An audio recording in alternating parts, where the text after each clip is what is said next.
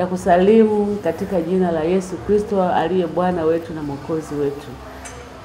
Ninamshukuru Mungu kwa siku nyingine ambayo Mungu ametupatia ili tuweze kuendelea na somo letu la malezi ya watoto. Nitakwenda kuomba. Baba Mungu, ninakushukuru, ninalinua jina lako. Asante kwa kipindi hiki ambacho tunakianza sasa kwa habari ya malezi ya watoto. Wewe Mungu ndiye mlezi namba moja, kwa sababu sisi hatuwezi neno lolote bila wewe. Watoto ni mali yako, kama ambavyo sisi wenyewe ni mali yako. Tunakuhitaji na watoto pia wanakuhitaji. Tujalie neema yako kujua kweli zako, ili tuweze kuzifundisha kwa watoto wetu, ili mwisho wa siku watoto wetu nao wawe na hofu ya Mungu, wa kuabudu, wa urithi ufalme wako Mungu. Baba, nakushukuru kwamba hata watazamaji na wasikilizaji wanaonisikiliza, Mungu, maneno haya utayasikizisha katika mioyo yao na yatafanya kitu katika maisha yao. Ninaamini Mungu kwamba maneno haya hayatakuwa ya bure kama ambavyo mtunzi wa wimbo namba 67 wa Tenzi za Rohoni akasema ya kwamba hayatakuwa ya bure haya maneno yako, nami ninaamini hivyo. Baba, nakushukuru katika jina la Yesu aliye Bwana wetu na Mwokozi wetu tumeomba, amen.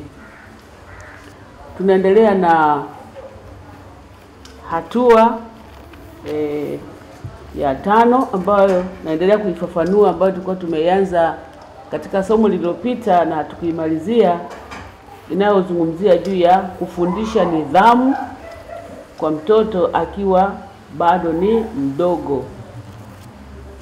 Kama ambavyo nimesema ya kwamba nidhamu inafundishwa sio urithi, na kila mmoja jinsi alivyo amefundishwa katika viwango vya nidhamu, kila mmoja kwa jinsi yake. Ndivyo ilivyotokea, kwa sababu wale watu waliotufundisha ndivyo walivyokuwa. Kwa hiyo hata sisi tunapozaa leo hii ama wakati huu, bado swala la kufundisha nidhamu liko pale pale, na mtu kuwa na nidhamu maana yake ni kwamba ni kuacha kitu ambacho alikuwa anakipenda yeye na kufanya kitu kile ambacho wewe unamwelekeza kwa faida ya Mungu na kwa faida yake na kwa faida ya wale ambao bwana mzunguka ama wanaishi naye. Kwa hiyo kama ambavyo nimezungumza katika vipindi vilivyopita kwamba mtoto ana, ana nafsi, ana roho, ana mwili, ana utashi eh. Kwa hiyo vitu hivyo vyote katika maeneo hayo yote, kama wazazi, Mungu atusaidie ku, ku, kuyagusia kuyagusia.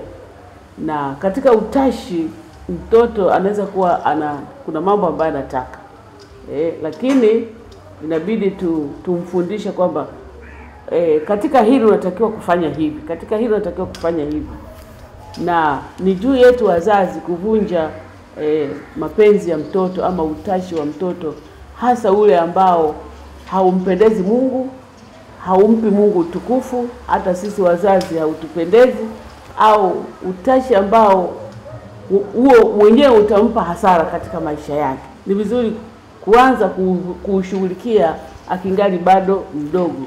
Kwa hiyo tunaposema kufundisha nidhamu, ni pamoja na kukumbuka ya kwamba sisi wazazi nafasi hiyo tuna tunaiangalia kwamba ni vizuri kuona ya kwamba tunavunja mapenzi ya mtoto au matakwa ya mtoto bado akingali mdogo.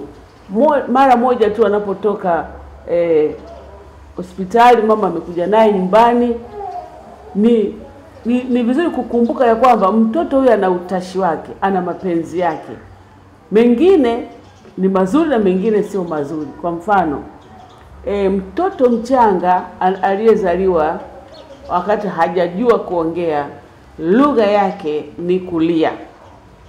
Kwa hiyo kila jambo anayotaka kuzungumza na wazazi wake ama walezi wake ama watu waliomzunguka atalia.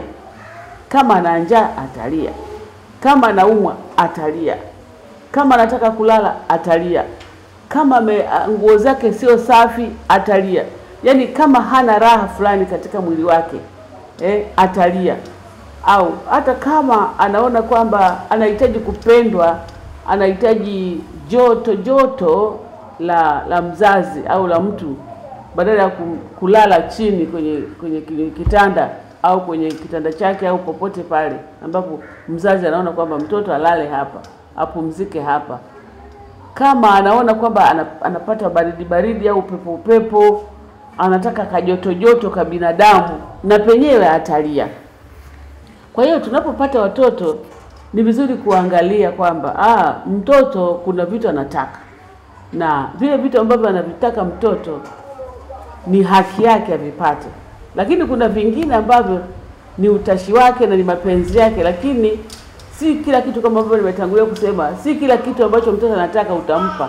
Lakini sisi wazazi tunachuja, tunaangalia kwamba kweli hii ni halali yake, hii anatakiwa apate, basi tumpe, na kila ambacho unaona kwamba ah, hii sio halali, haya sasa anataka kutuendesha au anataka ku, kuniendesha mimi mzazi wake, tusimpe.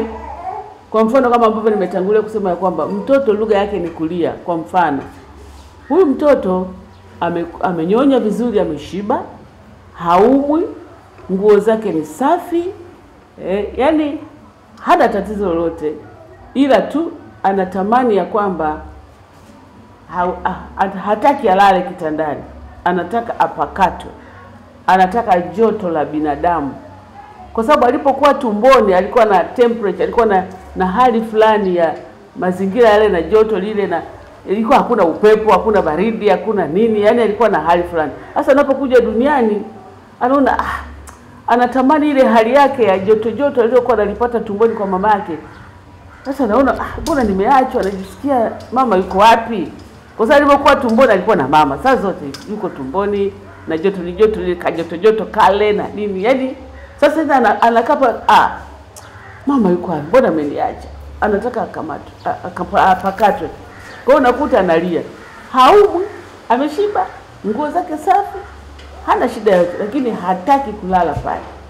Sasa unakuta sisi wazazi, unaweza ukajikuta una, unaona kwamba ah, mtoto analia, unamchukua. Kwa hiyo ni vizuri hapo wazazi kupambanua kilio hiki ni cha ni cha kitu gani. Akilia mtoto, mzazi ukijifungua mtoto uangalie, au baba na mama mwa, ni kazi ya wazazi ku- kunani ku, ku, ku, kuangalia kuchunguza ama kufuatilia eh, mwendo wa mtoto eh, kwa sababu ndio mmepewa kazi. Bwana ame, ame, Mungu amewapa kazi, amewapa zawadi, sio zawadi ile mkaiacha tu. Ah, ah, manake mnatakiwa kuitunza. Kwa ni nafasi ya wazazi kuchunguza, kuangalia eh, mtoto huyu mwenendo wake uko vipi eh? Kwa hiyo ungekuja kugundua kwamba mtoto huyu hana shida yote, lakini hataki kulala.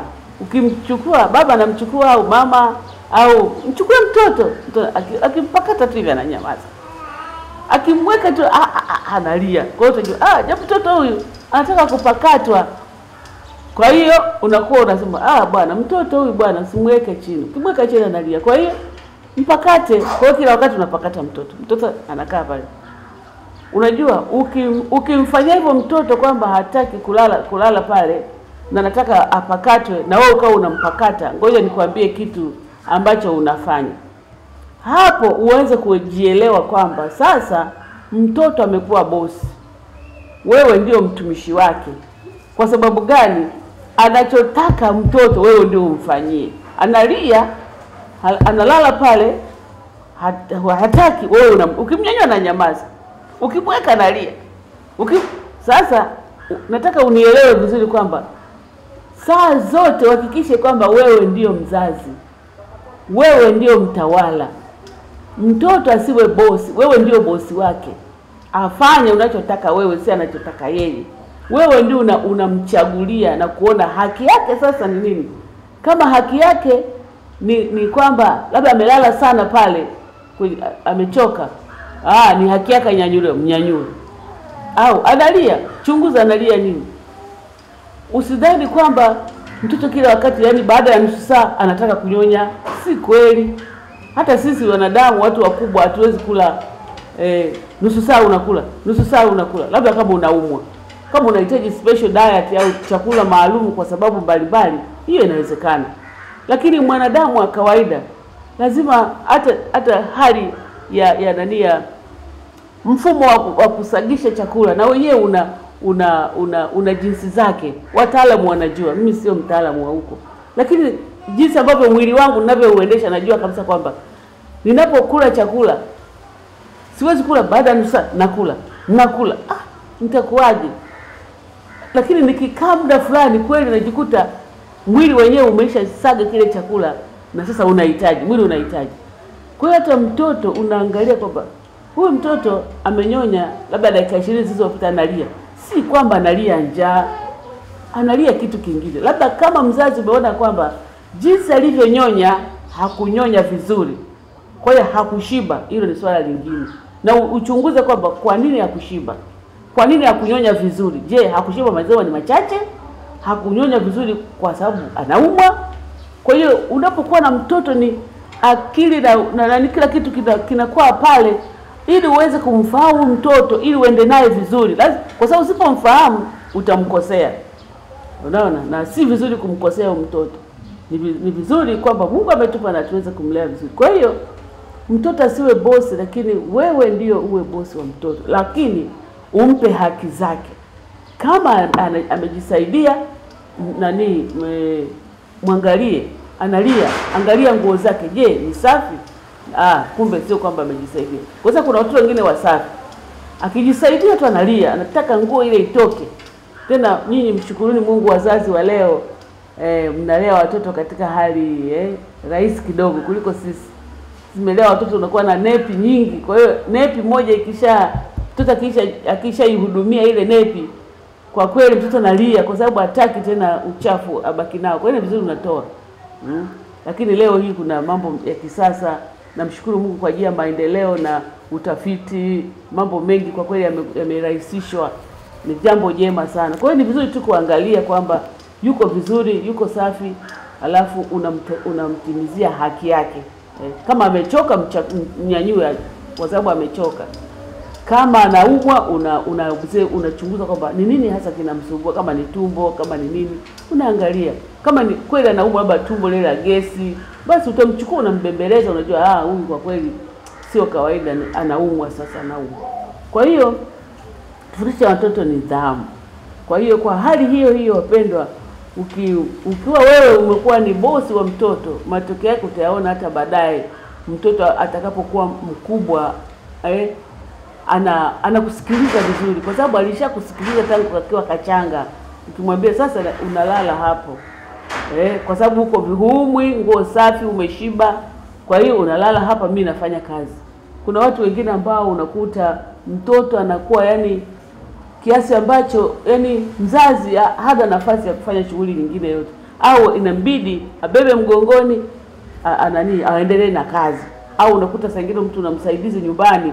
Kwa kweli inakuwa ni kazi ngumu kuna niku mtu kama wa namna hii kumwachia mtoto, inakuwa unakuwa unampa majukumu ma, makubwa zaidi, na pia mtoto kama hivi ambavyo nimetangulia kusema kwamba ale kwa utaratibu, itakusaidia hata wewe. Kwa mfano umesha, wakati wakati uko likizo unanyonyesha una, una mtoto, mpe muda kwamba mnyonyeshe baada ya saa moja moja, uone atanyonyaje. Kama unaona anavuta sana, utajua ah, kumbe kila baada ya saa moja anakuwa na njaa. Lakini ukijaribu baada ya saa moja unamjaribisha, unaona anacheza tu, unaona ameshiba huyu. Kwa hiyo unaongeza saa la pili, ukiongeza ukiongeza masaa mawili, ukimnyonyesha ukakuta ananyonya vizuri, basi unajua ah, kila baada ya masaa mawili ana, ana, ananyonya vizuri. Na hata utakapoanza kazi ni rahisi kum, kumcholea nani msichana wako wa kazi au anayekaa na mtoto, kumwambia kwamba baada kila baada ya masaa mawili mtoto anakula, unachora una, una kwamba nimemnyesha sasa, ninaondoka. Kwa hiyo tena utampa maziwa saa hii, utampa maziwa saa hii, utampa maziwa saa hii, utampa hiki saa hii. Kwa hiyo akiwa na ile ratiba anafuata, hawezi tu kuwa anaona kwamba mtoto analia basi maziwa, mtoto analia maziwa. Ah ah. Kwa hiyo tunapokuwa na utaratibu sisi wenyewe wazazi tumejiwekea, inasaidia hata wale ambao tunawaachia watoto kuna ni kufuatilia ulishaji wa mtoto vizuri, kwa sababu sisi wenyewe tulikuwa tuna tunafuatilia kwamba kila baada ya muda labda masaa mawili au matatu ndio unaona mtoto ananyonya vizuri, basi unajua ah, huyu ni masaa matatu matatu, na utaangalia ananyonya kiasi gani, basi ina, inakuwa ni, ni, ni ina, inasaidia. Kwa hiyo katika kufundisha nidhamu tunaona eh, katika Waefeso sura ya, ya sita pale mstari wa kwanza mpaka watatu.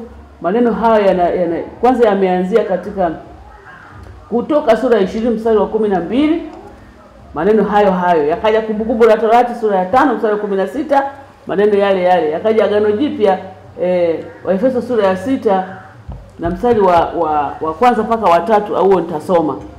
Neno la Mungu linasema, enyi watoto watini wazazi wenu katika Bwana, maana hii ndiyo haki.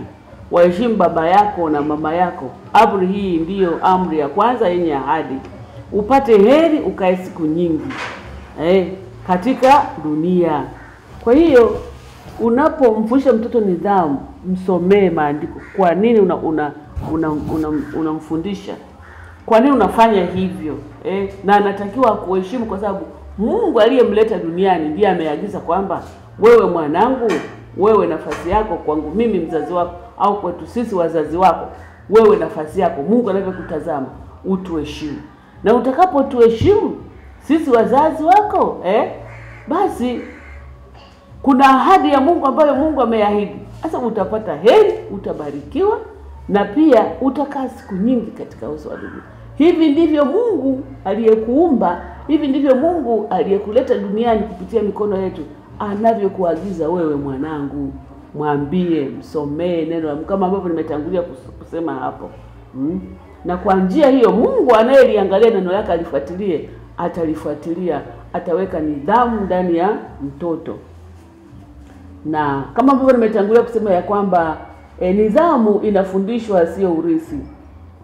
Kwa hiyo mfundishe mtoto ni nidhamu ya mavazi, nidhamu ya mahusiano eh, na wenzake wanaomzidi umri eh, kwamba ana, ana, anaishije na wale ambao wanamzidi umri, lazima awaheshimu. Kuna kuna hali fulani za za kuheshimiana eh, na kama ambavyo tunajua kwamba tunatoka katika eh, makabila na mila mbalimbali. Kila mila ina jinsi fulani ya kumheshimu aliyekutangulia, kumheshimu aliyekuzidi umri, kumheshimu. Kwa hiyo mtoto unamfundisha kuheshimu, kwamba mwanangu, heshimu ndugu zako wa- uliozaliwa nao walioko juu ya kwako mm? na eh, mambo ya, ya eh, mavazi ya heshima eh, yako maandiko ambayo yanaonyesha jinsi ambavyo mwanamke anatakiwa kuvaa, mwanamume anatakiwa kuvaa eh. Na sisi wazazi tunapowanunulia watoto nguo, tusiwanunulie nguo mradi nguo mradi fashion fulani au mtindo fulani, kwa sababu kuna mitindo mingine kwa kweli mtu unaangalia, alafu unaona kwamba mzazi amemnulia mtoto nguo hii, hata ukiitazama kwa kweli haina nidhamu. Sasa ujue unapofanya vitu kama hivyo unapanda kitu fulani ndani ya mtoto, na wakati mwingine ujue mtu aliye aliye aliyebuni huo mshono au hiyo design, ujui alikuwa na na roho gani au nini, alikuwa vipi eh? labda imenuizwa hiyo fashion, huo mtindo, huwezi kujua. Kwa hiyo tu, tuuzoeshe watoto wetu kuwanunulia nguo za nidhamu za kawaida tu eh? hata kama ni ya bei, lakini inakuwa na, na na heshima, nguo ya nidhamu hmm? Mahali popote mtoto akipita, anasema mtoto ana, ana adabu, mtoto ana nidhamu, tumwangalia mavazi yake. Kwa hiyo sisi wenyewe tukianza kuwafanyia hivyo, na wao watajenga kwamba ah, mavazi yangu ni haya. Kwa siku sikwambii ni yapi, lakini kila mtu anajua vazi la nidhamu kwake ni lipi. Hilo hilo ndilo ambalo nalizungumzia mahali hapa mm.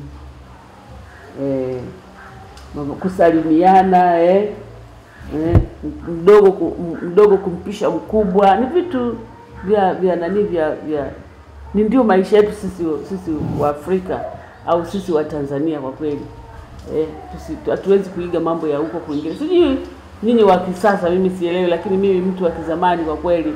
Ninaona swala la nidhamu kwangu. Naona ni ni jambo la msingi sana, kwa sababu linafanya mtu anaweza ku, kuishi na watu wa namna yote vizuri tu, hata kama unaishi na watu wa, wazima sana.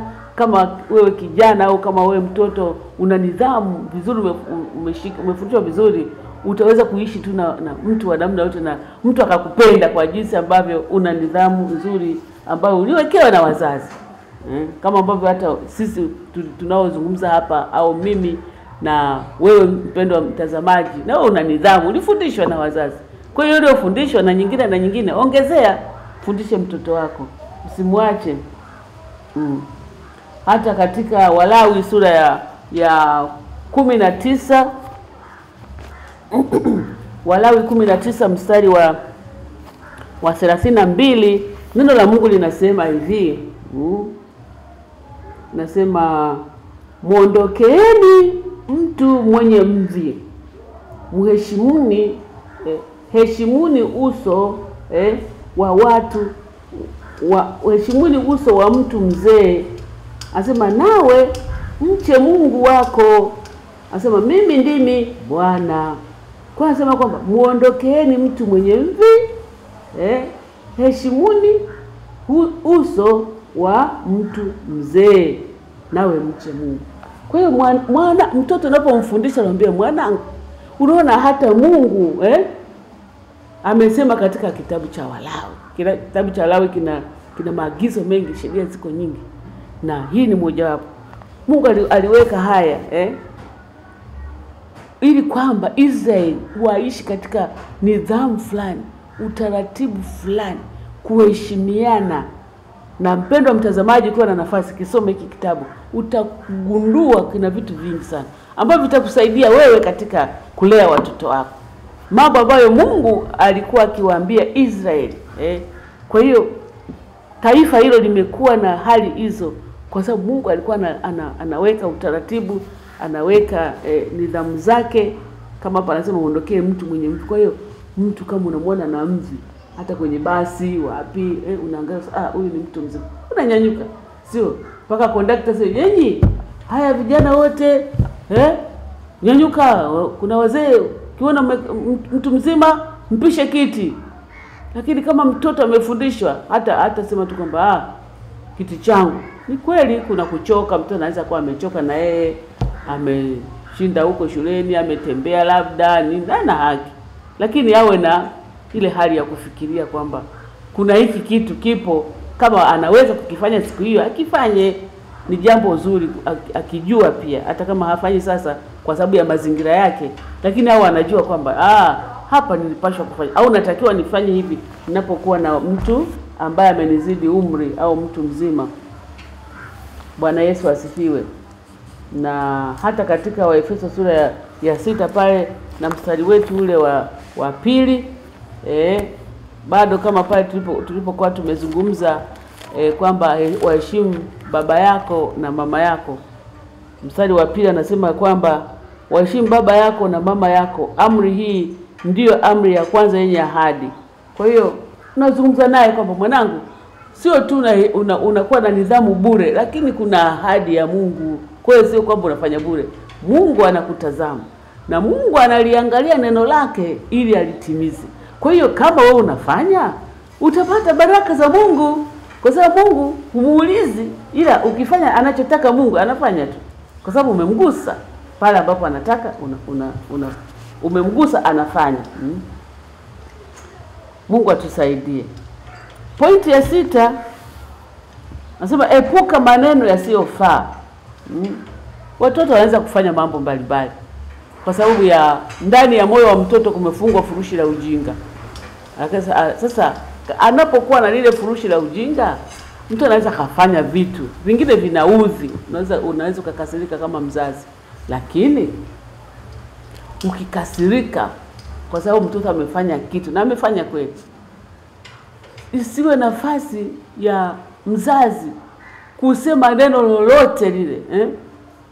neno baya, neno gumu, kwa sababu ya vile alivyokereka. Lazima uone tu kwamba ah, huyu sijamfundisha, huyu unahitaji kumwona hapa, nahitaji kumrekebisha. Ah, kumbe uone nimejionea hiki kitu ndani ya mtoto, kumbe nimwelewe vizuri, kumbe nifahamu kwamba mwanangu yuko wapi. Lakini unakuta mara nyingine kweli, kwa ajili ya ubinadamu wetu kama wazazi, mtoto anafanya kitu, unajikuta unatamka maneno magumu. Sasa kwa mfano, mtoto anamwambia amefanya kitu be, we kichwa kama nazi we. Ah, Sasa mtoto wako anambia kichwa kama nazi, wewe ndio umemzaa mbwa we. Ah, unajua mtoto angekuwa anaweza angesema kwamba ah, kumbe kumbe nimezaliwa mtoto wa nyoka ni nyoka. Sasa unaposema mbwa we, ala, kumbe aliyeanza kuwa mbwa ni nani? Kama angekuwa anaweza kusema kwamba ah, mama, hivi aliyeanza kuwa mbwa ni nani? Ni mimi au ni nani? Lakini unakuta mtoto ananyamaza tu, unaona, huna akili we. Ah, kumbe mjinga we. Aha, Una- unajua kutoka katika hasira unaweza ukajikuta umejisahau ukatamka tu kwa sababu ume, umeona sasa, yani eh, kuna mpendo wa mtazamaji, naelewa na mimi nimepita huko huko, kuna kuharibu na pia kuna kutengeneza, na Mungu atusaidie. Kwa hiyo tujiepushe na maneno haya, kwa sababu haya maneno mm, kama ambavyo mm, likiwa la kimungu, kama ambavyo nimetangulia kusema kwamba tufundishe neno la Mungu. Mungu analiangalia neno lake, analiumba, analitimiza. Kwa hiyo likiwa la kishetani, shetani naye anaangalia lile neno lilotamkwa, naye analikamata eh, anakwenda kulitia muhuri. Kama unasema mjinga we, ah, kumbe shetani analeta ujinga bwa kuna kutu- mtoto mbona haelewi, mtoto haelekei. Kumbe wewe mwenyewe umemwambia mjinga, roho ya ujinga ikaingia pop, kwa sababu yuko kazini. Afanye nini shetani? Ana, anafanya kwa sababu mpendwa, au unamwambia mtu huwezi wewe, kila kitu huwezi, huwezi, kumsha anajenga ah, shetani ile siwezi, roho siwezi, siwezi inajenga.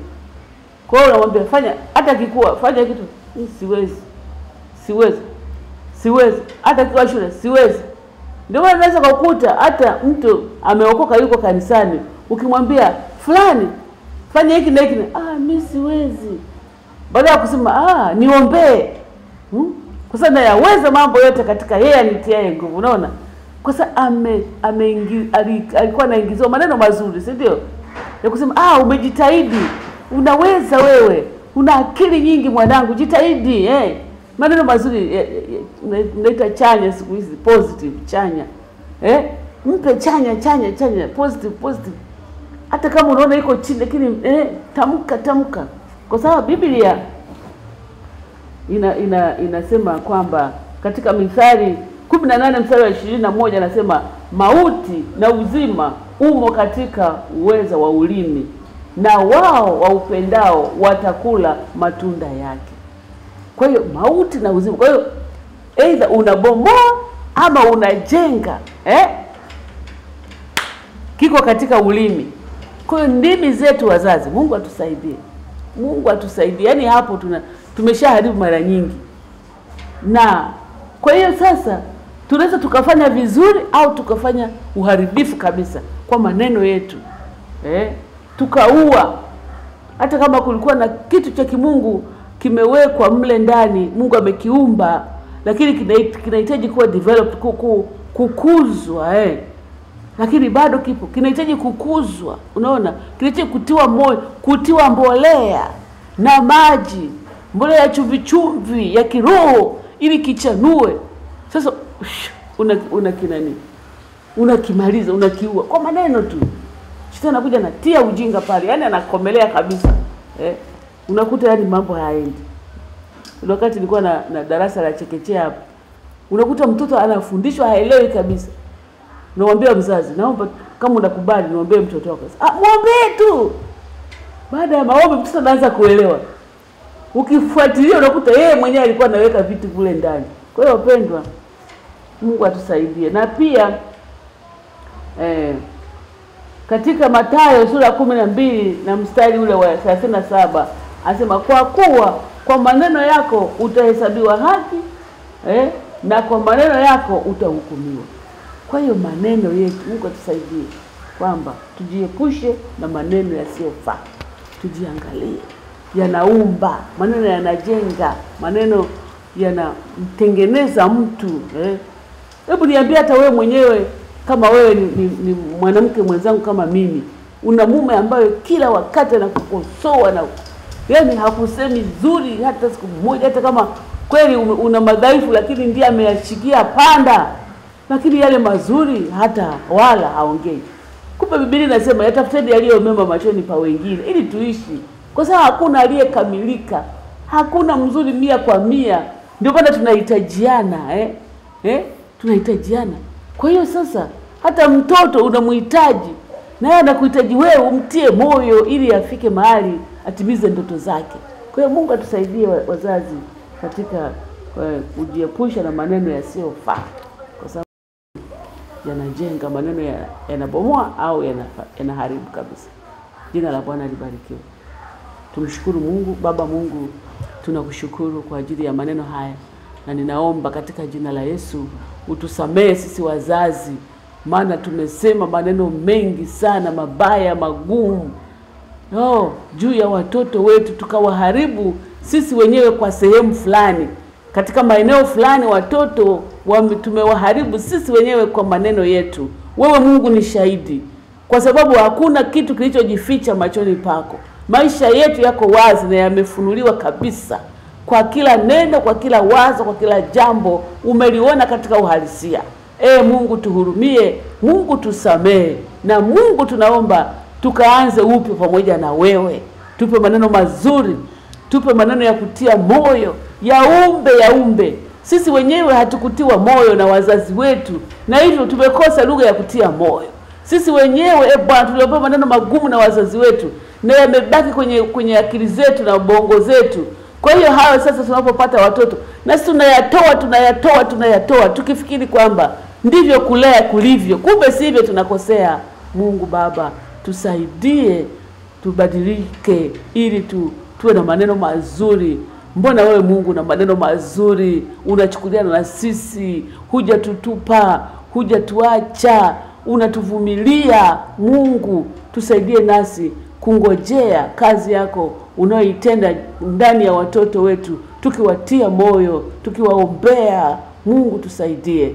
Tunakushukuru Mungu kwa ajili ya watoto wetu wazuri, wasaidie e Bwana. Yako mambo mengi ambayo yanaendelea juu ya watoto, lakini Mungu wewe peke yako ndio unaweza kuyarekebisha katika maisha ya watoto wetu kwa ajili ya utukufu wako, ili mwisho wa siku Mungu ulitimize kusudi lako juu ya hawa watoto ambao wako katika ulimwengu huu. Na kushukuru katika jina la Mungu Baba na Mwana Roho Mtakatifu tumeomba, amen.